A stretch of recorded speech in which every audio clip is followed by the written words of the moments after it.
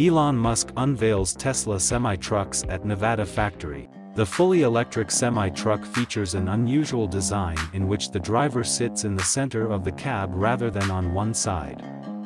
Tesla has boasted of the truck's performance, saying it accelerates much more quickly, even with a full load, than traditional diesel-powered semi-trucks.